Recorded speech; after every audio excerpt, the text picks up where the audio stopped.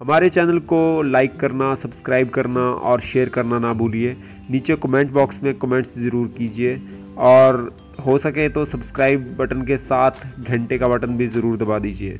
Trailer देख के लगता है कि मतलब इंडिया में कॉन्स्टिट्यूशन मतलब सारे अपने अपने हिसाब से चले होते हैं सबको ये लगता है। हाँ। कोई भी सच्चाई इनको एंड में क्लीन चिट मिली है जो हुआ था ओरिजिनल में किया। जो पुलिस पे ब्लेम लगाया था इन्होंने। पुलिस पे ऐसा हुआ था जब केस हुआ था।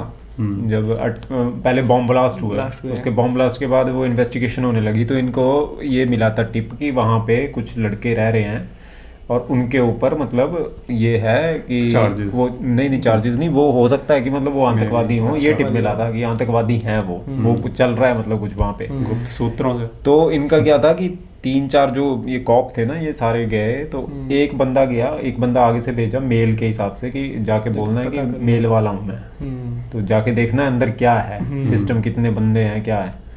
तो अब क्या हुआ ये गए एक भेजा तो उसने देखा कि उसमें ना दो डोर थे। घर में। हम्म, तो उसने नीचे जैसे जॉन बताया ना वैसे एक बंदा था जो मेन इनका उसको कॉल करके बताया कि दो डोर हैं यहाँ पे तो दूसरे डोर से एंटर कर सकते हो। हम्म, तो एक आगे से गया ये पीछे से टीम घुस गई। उसने जब नॉक किया ना तो वो अलर्ट हो गए सारे। और क्योंकि सिचुएशन ऐसी थी सारे ब्लास्ट हुए थे तो सारे अलर्ट ही थे। हाँ, पूरे। महकमा अलर्ट था तो उनको भी पता था कि कुछ ना कुछ होगा ऐसा। हम्म, तो उन्होंने क्या किया उन्होंने भी मतलब जो थी गन वन वो निकाल ली।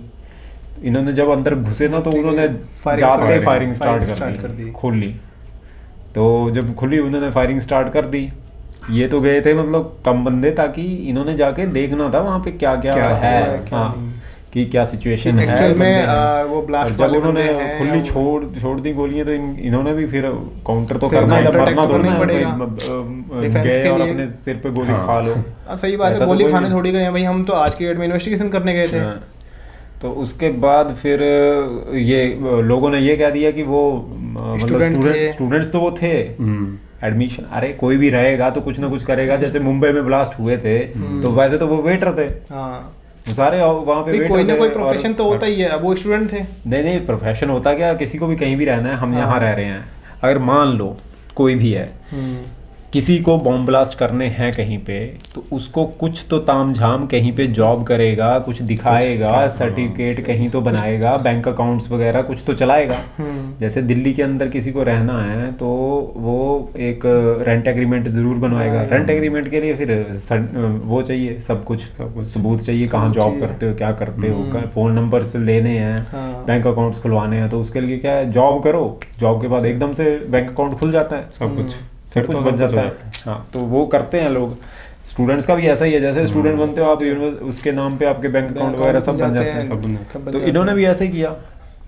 सेम प्रोसीजर अब उसमें क्या हुआ चार बंदे थे एक बंदा बाहर गया हुआ था ये अंदर हो गया कांड वो एक बंदा भाग गया और इसी के चक्कर में वो एरिया मुस्लिम एरिया था। रहते ही ये मुस्लिम एरिया मुस्लिम एरिया में दिक्कत होती है मुस्लिम तो वो ही रहते हैं रहते हैं। तो उन्होंने सबने आगे घेर लिया।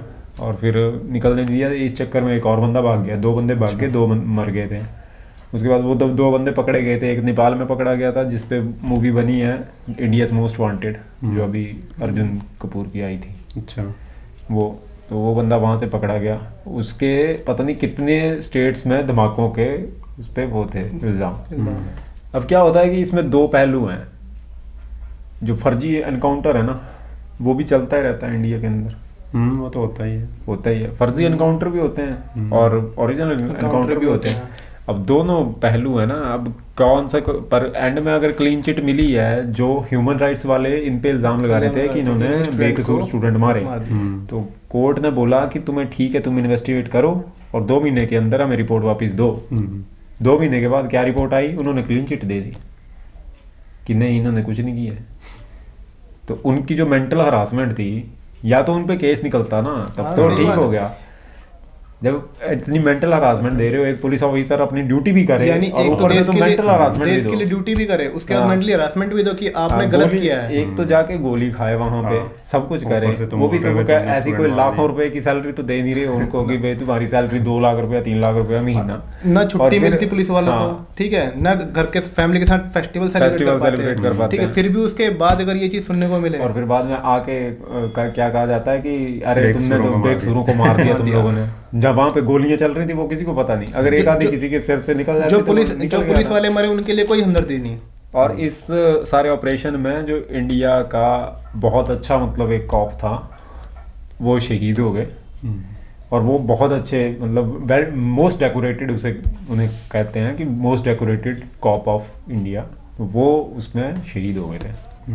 और अगर आपको लगता होगा कि हमारी कुछ इस बातचीत में कुछ कमी है कमी मीन्स कुछ गलत बोल गए हैं या कुछ है तो उसके लिए सॉरी अगर किसी की भी भावनाओं को ठेस लगती है कुछ भी मतलब बात कर रहे थे तो।